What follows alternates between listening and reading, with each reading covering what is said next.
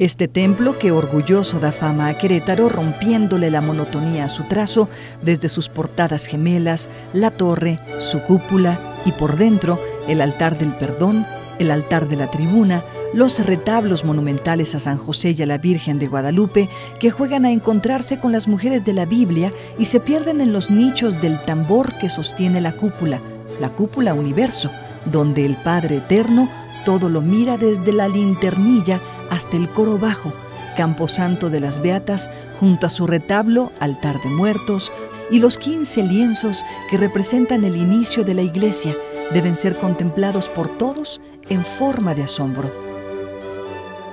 Santa Rosa de Viterbo es una de las expresiones más hermosas del barroco queretano. Este templo orgullo de nuestra queretaneidad conjunta los elementos del barroco y los expone de forma bella. Tallado en diversos tipos de madera tales como cedro, caoba y sabino, entre otras, y acabados en hoja de oro de quilates. Aquí las manos de los distintos artistas dieron forma real a lo invisible, expresando los misterios de la fe cristiana. Es la vida eterna en medio de la alegría y de la luz. Es el espíritu de la contrarreforma.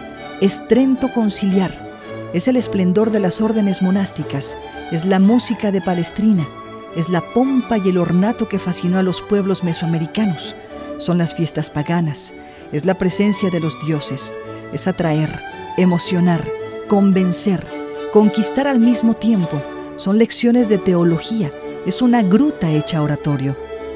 Atender a los mitos más que a la realidad empobrece el pensamiento y reduce la riqueza teológica del barroco tan altamente defendida en este templo, tesoro de la humanidad. Querétaro está en nosotros, Poder Ejecutivo del Estado de Querétaro.